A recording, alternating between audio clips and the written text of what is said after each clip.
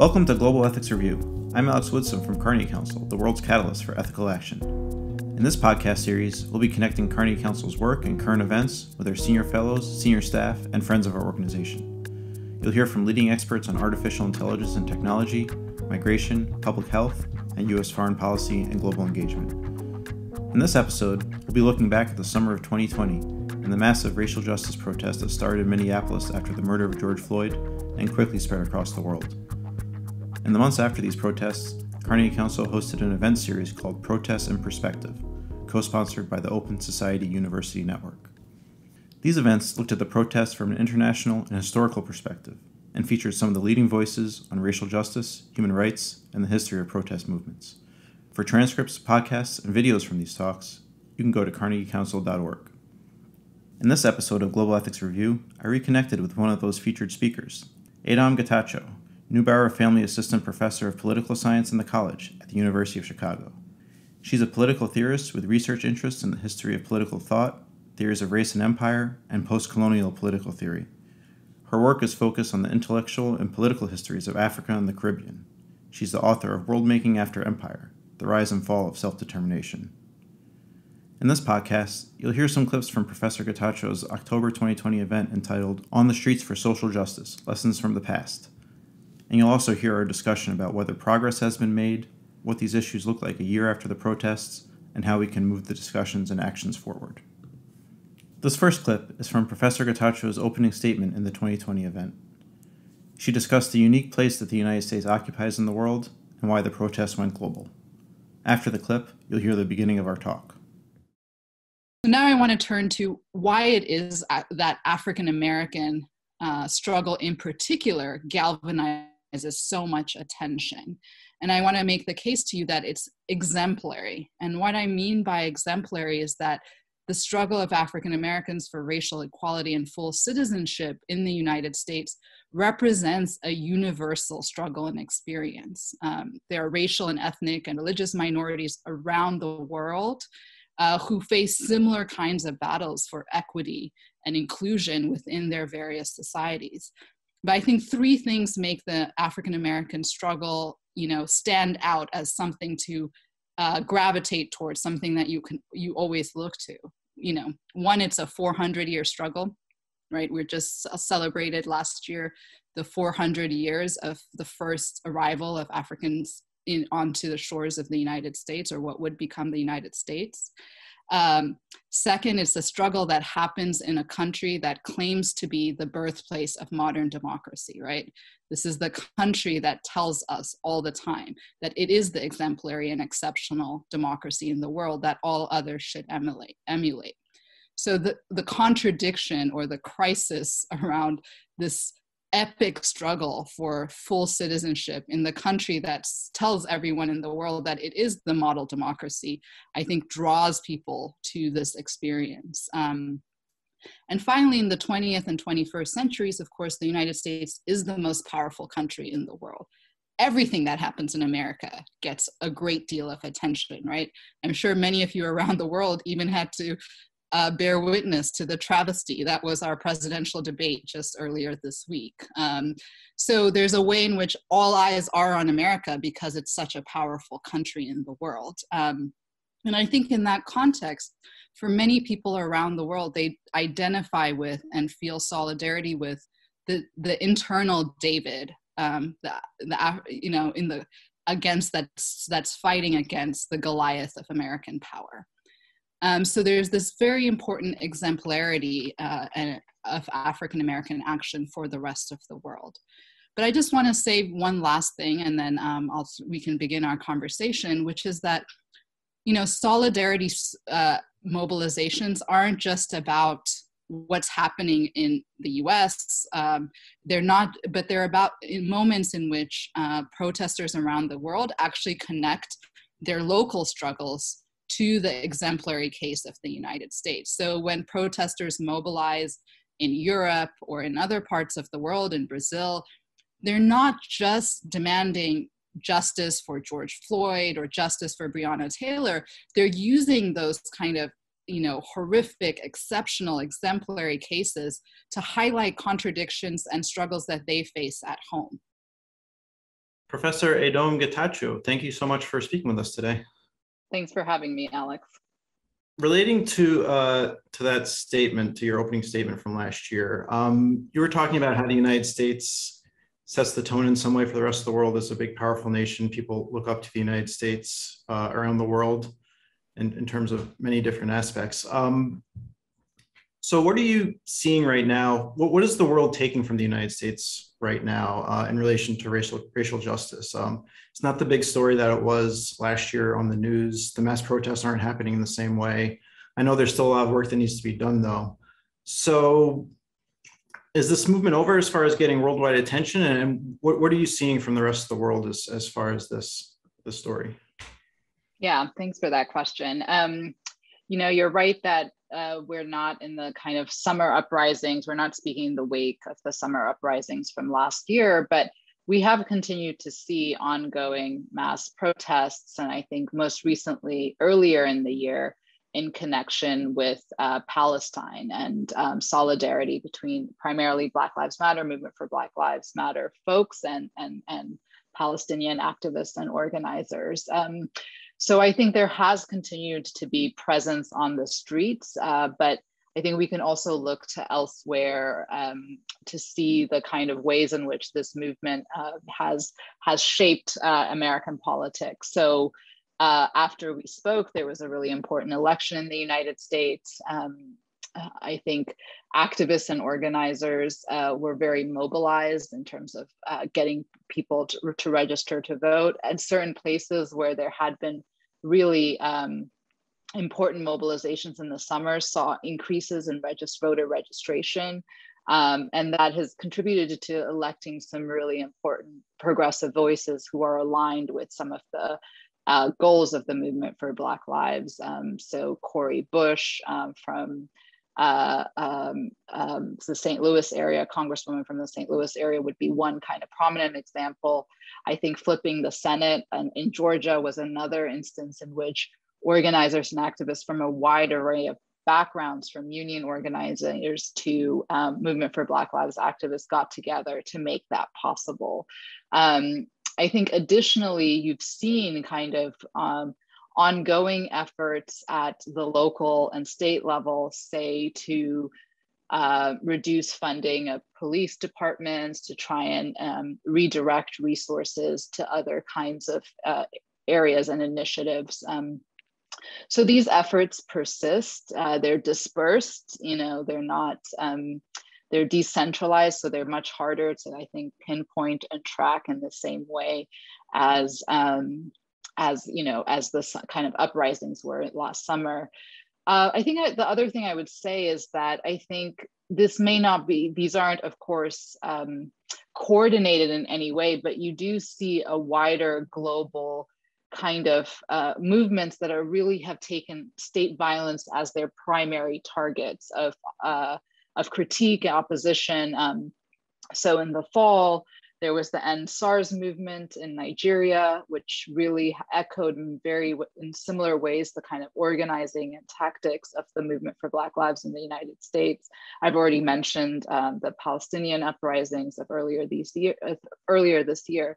So I do see this kind of convergence around a critique of, of state violence and racialized state violence occurring in, in a variety of settings.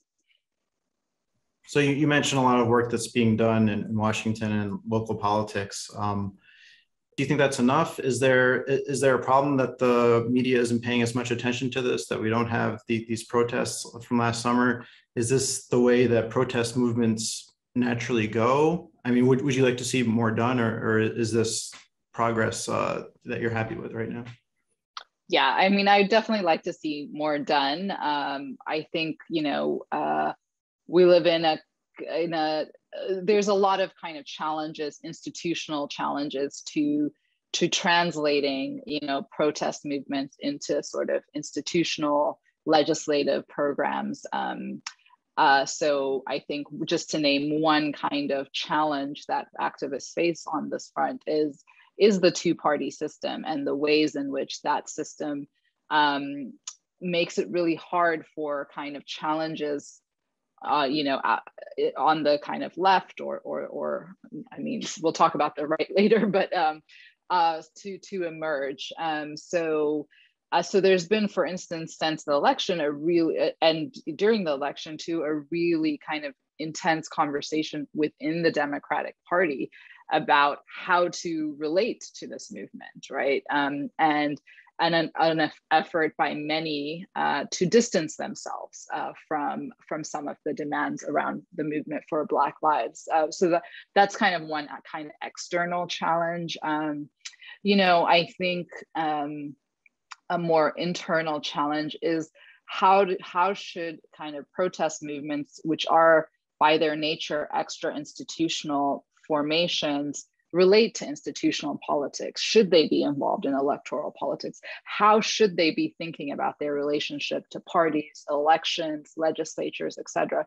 And I think there's kind of a wide array of opinions about what, what the kind of theory of change is and what the relationship between extra institutional and institutional politics ought to be among movement activists and organizers. And I don't think that question is decided. And so it leads to kind of a fragmentation of efforts on various fronts. Um, so, you know, I, I would like to see a kind of, I guess, clearer kind of theory of change and a way of trying to think about how one translates what was really like uh, incredible energy in just an inspiring moment last summer into kind of uh, um, into institutional forms in ways that don't feel like you know you're being co- co-opted by the institutions that already exist but that also enables you to kind of get your your agenda um, realized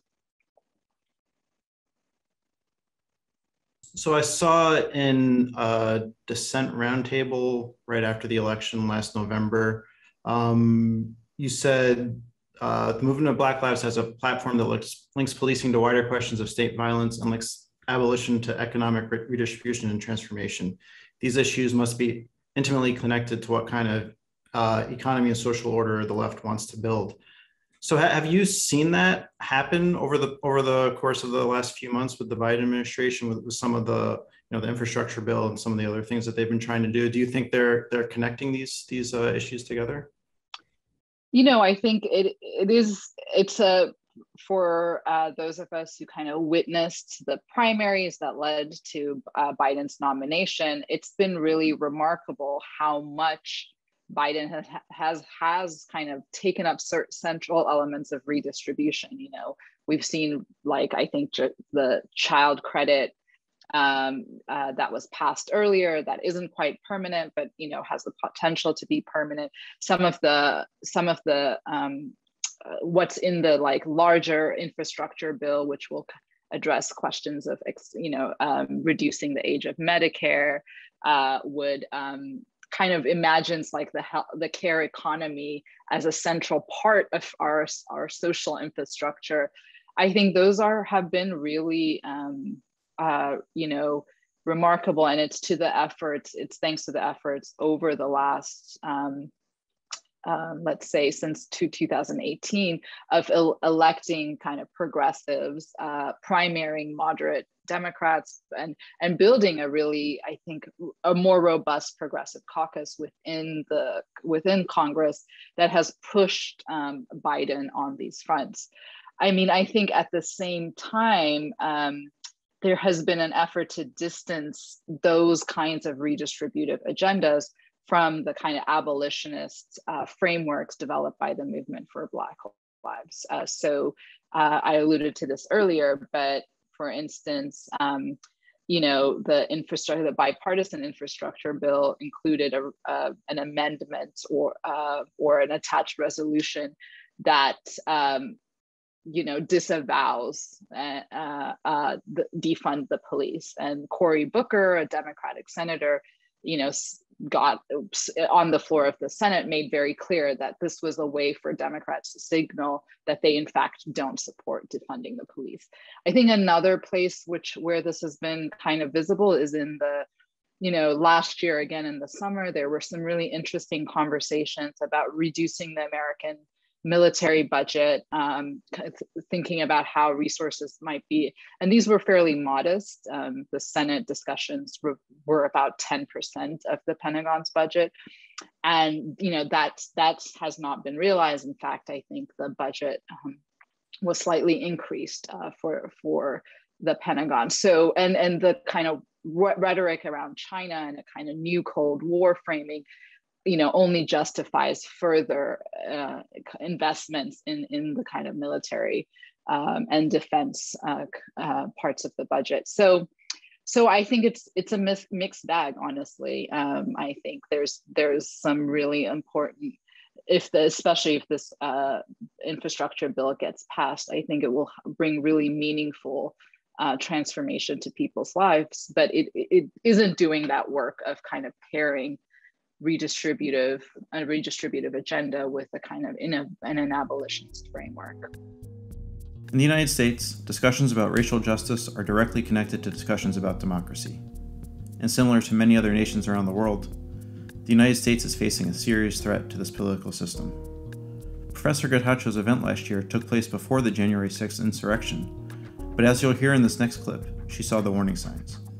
After the clip, we discuss the crisis in the United States more specifically and what we can learn from thinking about other nations that are also struggling with their democratic systems.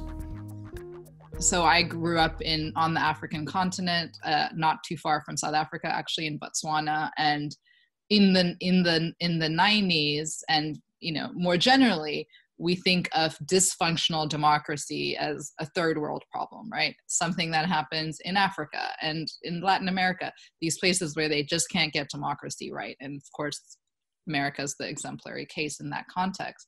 I mean, I think what the last, you know, at least four years, if not more, and this is not just about the US, but about mature democracies around the world, is we've seen them come into crisis around the same kinds of things that you know uh, third world democracies have suffered from namely kind of the politicization of identity um, and forms of violence um, that are connected to political competition and mobilization. I mean, we're about to have an election in this country, and you know, it feels like war could break out in the context of an election. Uh, I don't mean to be alarmist, but it, that's the kind of sense in the air right now. Um, so I think one thing that I want to say and urge, especially the students on the call, to think about is you know to reverse the question about democracy to think about what is it that democracies like south africa and democracy democratic experiment, experiments and their failures around the world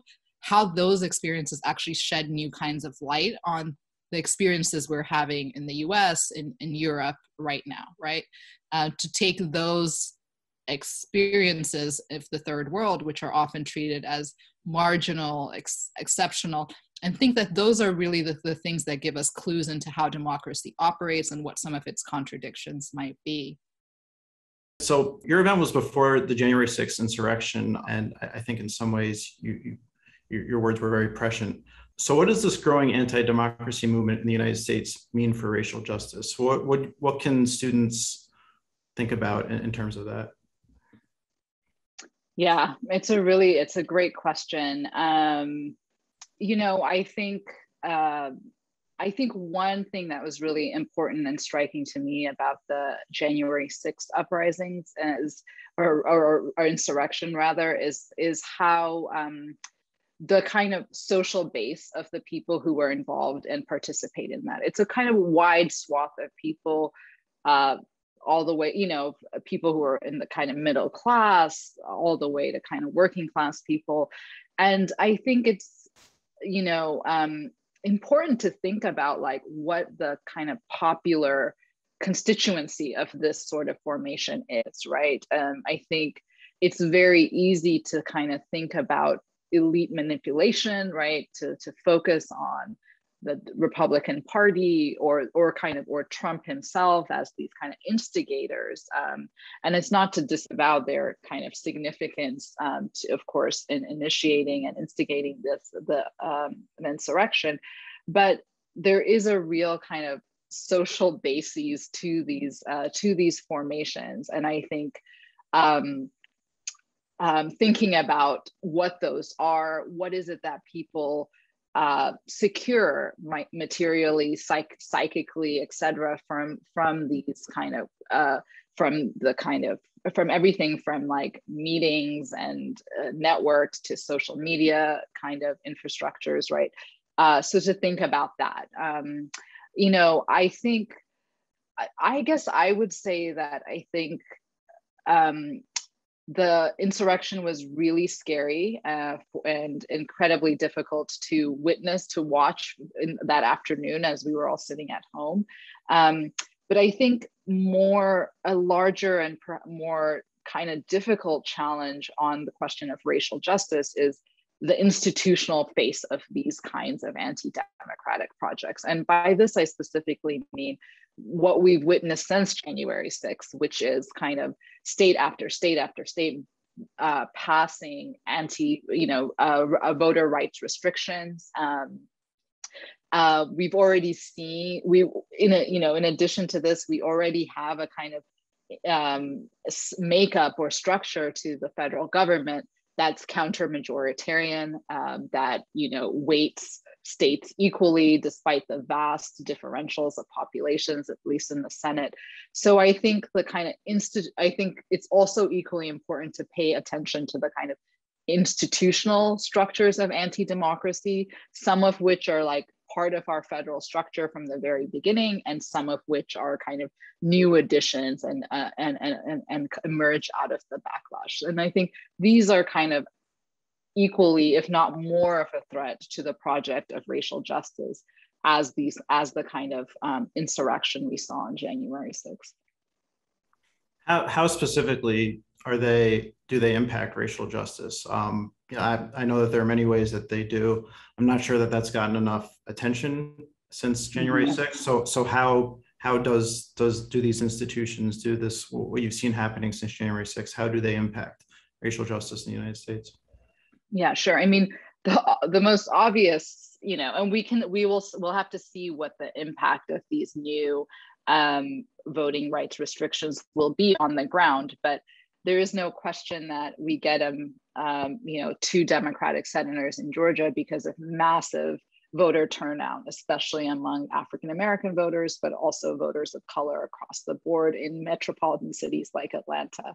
Um, so you know trying to undermine that the possibility for that kind of turnout through these restrictions will mean that um, will, may have consequences for who gets to represent uh, a state like Georgia or Texas. Um, I think that's one. Two, two you know, the uh, it, the Senate in the Senate, there's two senators per state, um, um but increasingly, uh, you know, and this was oh, this has always been true, but it's becoming more and more so true that uh, the coastal states, um, again, which are more more diverse, are have larger populations um, than you know many of the kind of states in the middle of the country, and that was of course a, kind a counter majoritarian design from the very beginning, but the the consequences of that over time is that the votes of of you know again um, you know, mo- more people of color, um, younger people, urban dwellers, etc., is it counts for less basically within that within that structure. So it means that you know, you, let's say you do get a lot a lot more people like Cori Bush elected, um, or you, you have them run for office, right? At the very least, the chances of getting them in office and the chance of that being able to translate that into a majority coalition within a legislature um, gets diminished. Um, so I think um, so, and I think yeah that in you know in a lot of um, there are some policies that do seem to have majority backing when you poll Americans. Um, not necessarily defund the police, but say universal health care or something like universal health care, um, diverting some money from um, military spending to healthcare and education and housing. Those have majority support when you survey Americans. But how to challenge those, uh, um, which would have really important consequences for, for people of color in the United States, how to translate those into meaningful policy um, the, these kind of institutions are roadblocks to that process. I'm not saying that if they were all gone, that we would immediately be able to do that work of translating them into policy, but at the very least, these can tend to be kind of uh, sticking points or roadblocks to that process. So going back specifically to your answer from, from last year about this question, uh, you mentioned South Africa in your answer. I'm not sure if you meant South Africa or we're just saying South Africa to represent other nations, but nonetheless, there's a huge crisis in South Africa in July um, involving corruption, poverty, uh, lots of uprisings there as well. So you know, I, I, know it's not just South Africa that that's going through a, nation that's been going through a crisis in 2021. So, what what can students, what can people learn about the United States through thinking about something like the crisis in South Africa, or maybe another country that that you'd like to highlight that's that's been going through some difficulties in the past year? Yeah, you know, I think um, my urging to think internationally and comparatively about democracy stems from two things, like one, I, I think um, the United States and more generally the North Atlantic world has a tendency to be insular in its thinking that, you know, especially the United States has a sense of a kind of exceptionalism, the first democracy, you know, um, the most stable democracy, all of these things that generate a sense in which there's nothing to learn from the rest of the world. Um, so I think there's two lessons that something like a country like South Africa, but we could also talk about India, um, you know, these large multi-racial, multi-ethnic, multi-religious, in the case of India, democracies demonstrate. I think one, so one is to think about like what actually makes us very similar to them. Um, um, so I think one kind of similarity that you can think across the board of these three, South Africa, India, and the United States, um,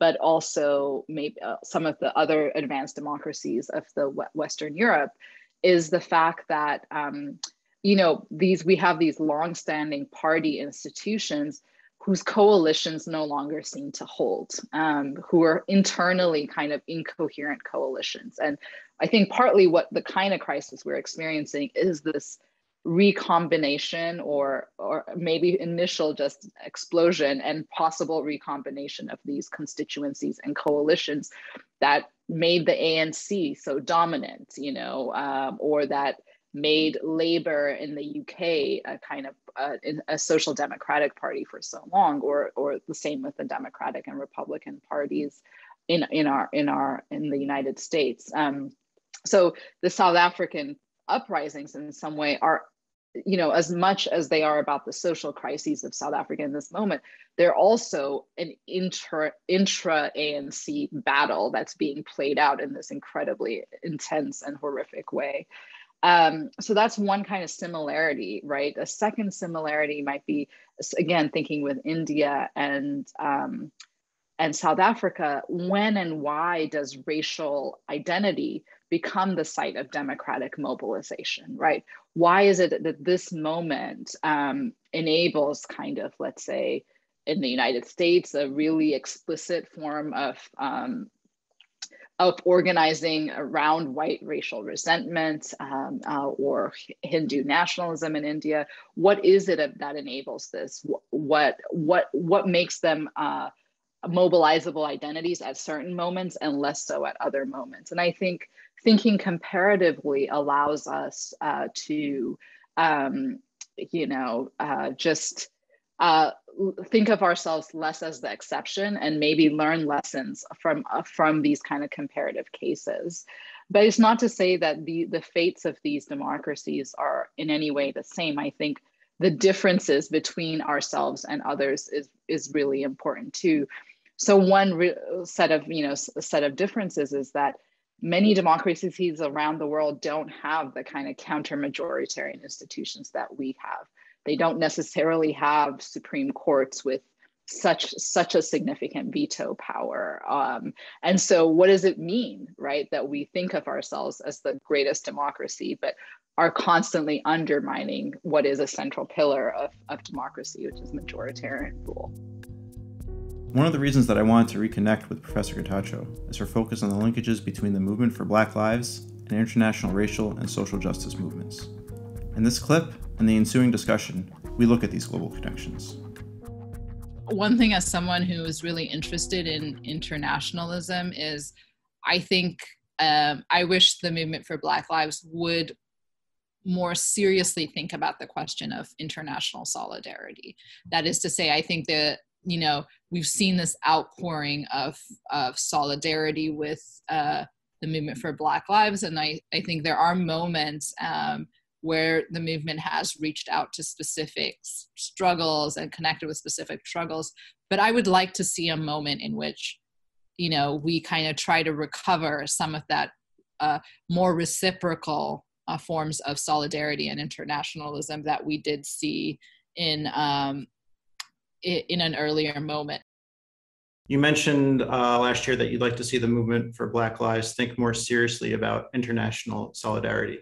So, have you seen more of that in the past year? And what specifically would you like to see, or what specifically have have you seen in regards to that? Yeah, I think um, um, you know I've mentioned earlier the kind of Palestine solidarity that happened earlier this year. I think that's really it's really important. Um, it's one I think from from the outside it might seem um, surprising that that would be has been such an important link, and it has been really since um, um, you know the F- Ferguson moment also involved these kind of Gaza Ferguson connections. Uh, but but also um, there you know there's a long-standing, decades-long sort of solidarity uh, between uh, Palestinian activists and Black activists. So I think that's one kind of positive story to tell about um, you know a kind of revived internationalism. I think another you know I don't know if I mentioned this last year when we talked, but um, the Vision for Black Lives platform from 2016, which was this kind of policy statement of the movement for Black Lives, put out put out initially in 2016, revised in 2020, um, does include a kind of um, a, you know a kind of foreign policy vision that involves kind of a dramatic de-escalation of, of US wars abroad, of, of, of, of defunding or, or radically scaling down uh, spending on on on defense, uh, a commitment to um, especially um, supporting uh, kind of uh, re- and stability and security in in areas where the U.S. has been most engaged, primarily the Middle East and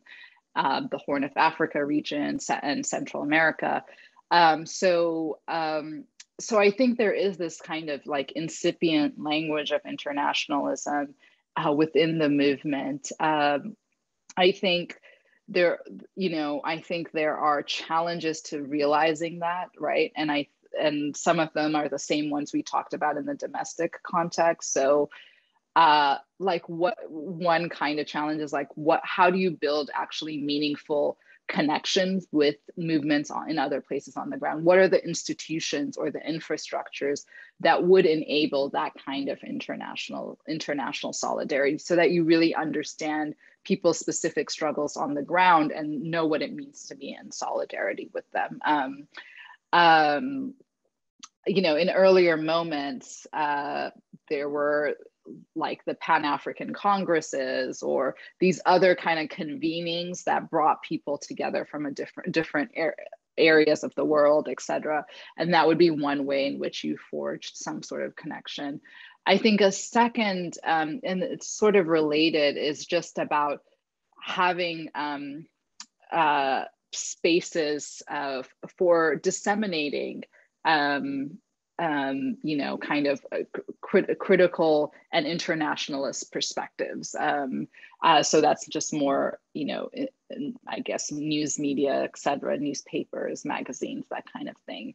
And the third, I think, is building kind of build expanding um, internationalism w- within the United States. How would we kind of actually can persuade um, American citizens that internationalism is in their best interests. You know, I think there's one version of it that's very easy to persuade people about, which is like, look, if we cut the Pentagon budget, you could get healthcare and housing and all of those things. It's another step to be to say something like, okay, like if we're going to solve the climate catastrophe that's on the horizon, it's important for the United States not only to shore up uh, the United States, but also to help support and create a kind of global infrastructure that could really deal with climate change. Um, and I think, you know, the last year of seeing the pa- response to the pandemic and the rollout of the uh, vaccine and the really deep inequalities, uh, global inequalities, are a sign just of how far we are from that image, vision, and, and of internationalism. One one question that I've that I've had um, over the past year or so, and it's, it's come up just in, in different contexts. Um, you know, there are a lot of protest movements. You, you mentioned uh, uh, several just just now, but there's something like the the protest movement in Belarus. Um, that's you know Belarus is a very different society than the United States and a lot of other places in Europe. Uh, there's protest movement in Cuba, more focused on anti-authoritarianism. They're, they're not really a democracy, so they have uh, they're not a democracy at all. So they have their own different issues to deal with. Um, are these protest movements that are just happening at the same time? Do you see connections between something like Belarus and the movement for Black Lives, or is, is there anything that protesters in the United States can think about in terms of, of anti-authoritarian protests like that, or, or these just happen to be happening at the same time in different parts of the world? Yeah, it's a good question. Um, hmm, I mean, yeah, it's hard to say. I think they're definitely very, you know, of course, have very specific um, uh, contexts and reasons for for starting. Um, um, but I think there's, um, you know, one thing that's really interesting, I think, uh, just observing some of these protests is how similar the some of the tactics are. So, for instance, um, in earlier moments of uh, Black Lives Matter protests, um, shutting down highways, right, was a really big, a, a kind of central tactic of, of disrupting the way people move or or kind of the die-ins that happened at, at malls and restaurants and these ways of disrupting commerce and um, and the ability of for transportation. We've seen that in other protests around around the world. I'm thinking for instance about the really large scale farmer strikes in india that similarly kind of made impossible you know uh, movement around the city. Um, so I think there's something you know i'll have to think more about it and and this is just going to be tentative but there i think there's something similar about the way how these protests have decided to go about like what what tactics they use. And perhaps they tell us something about what what are important sites of intervention in this particular moment right? So mobility or or consumption tend to be really really central places if you want to make a kind of your voice heard or your impact felt. Um, and I think that probably says something just about generally where our societies are, are as a whole. Um, you know, I think um, I do think there are there are there are lessons to be learned. Uh, you know, both from failures of of of you know mobilizations and of successes and you can see that in a in a variety of ways. So i mentioned end sars the end sars protest in nigeria earlier but i think um, you could see how certain forms of organizing that are kind of prevalent now decentralized uh, also feminist led which is uh, very distinctive um, that that is also has been true of, of the movement for black lives here also shaped that that particular movement against uh, police violence. Um, so I think you know, so I think also a shared challenge among some of these mo- movements and mobilizations is how do you, um, you know, build beyond your core group of people, right? And it's it's one thing if many people show up for the protests as they did last summer, but it's another you know when those people go home what happens right? How are they kind of engaged? How does that how does that presence in the streets then translate into sort of either meaningful engagement or or coalition building et cetera? And i think that that that challenge seems to repeat itself in some of these cases as well. In this final clip from 2020, Professor Getachew answers a question about how to stay hopeful. The question and answer specifically referred to the police officers who killed Breonna Taylor in Louisville last year, but were not indicted. As you'll hear, Professor Getachew is still able to appreciate the progress that has been made in the past year and a half. I say this often, um, so if you've heard me say it before, I'm sorry to be a broken record. But, you know, I think again thinking back to my own the work that i do and the period i studied in my book um, decolonization after world war ii uh, you know if in 1945 if you would have said by 1960 over 20 african countries would have gained independence no uh, you would have been laughed out of any room including the rooms where anti-colonial nationalists were struggling and deciding how to think about uh, the future of the world, right? It looked bleak, you know?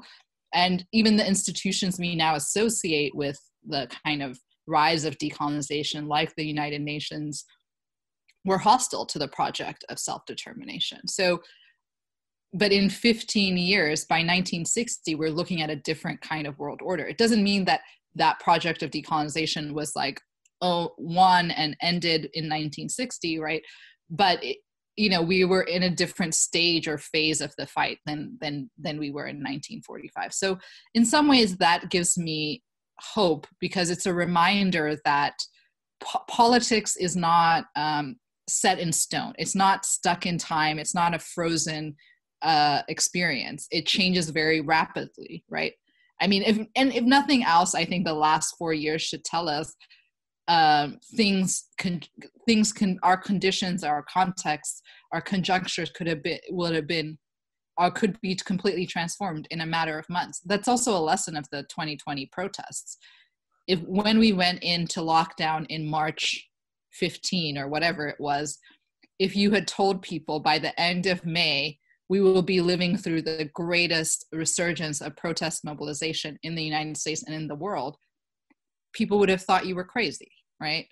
Um, so i think like remaining attentive to the real political contingencies uh, that structure our lives is a re- that's really important and i think keeping your eye and, and you know on uh, these s- smaller experiments right it may be that it may be that breonna taylor's killers won't be um, you know face trial but this is also a summer in which many cities have voted to uh, withdraw some funds from the police.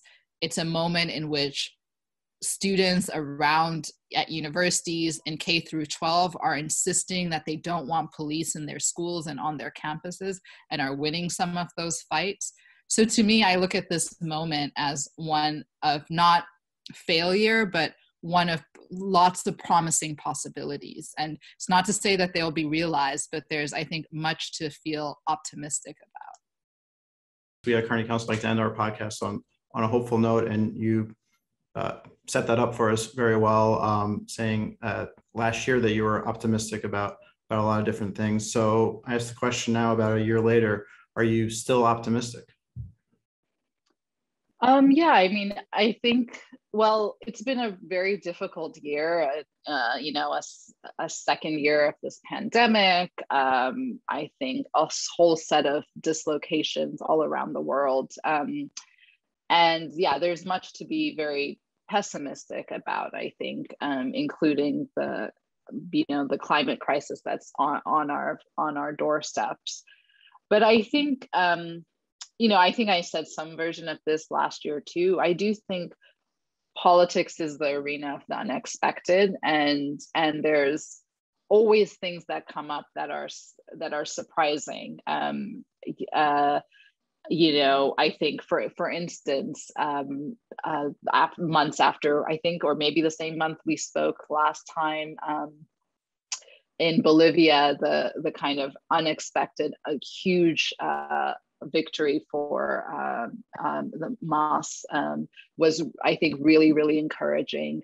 Uh, I think, as I said, I, I remain, you know, really surprised and uh, cautiously optimistic about some of the directions the Biden administration has gone, especially on the domestic parts of, of kind of thinking about redistribution, um, thinking about the care economy, reimagining what infrastructure looks like. Um, I think and hope it sets it sets us up for um, you know larger scale investments down the line. Um, uh, I think you know um, I remain very inspired by people who risk their lives all over the world to fight for the things they believe in. And you mentioned Cuba and Belarus, um, um, uh, Nigeria and Palestine, and all these places, I think. Uh, people really have a vision of a better world and they're willing to risk life and limb uh, to make it possible. So I think in that context, even though there's the challenges I think we face are really unprecedented. They're going to take us, there isn't an easy answer or an easy fix um, to many of the questions before us. But um, it seems to me that, you know, as long as people are willing to fight for what they believe in, that the possibility of a better world is always on the horizon. Professor Adom Getachew, thank you so much. Great, thank you. That was Professor Adom Getachew, Neubauer Family Assistant Professor of Political Science in the College at the University of Chicago. She's the author of World Making After Empire. For more on the Protests in Perspective series, and for a complete transcript of this talk, you can go to carnegiecouncil.org. Thanks for listening to Global Ethics Review, and stay safe and healthy.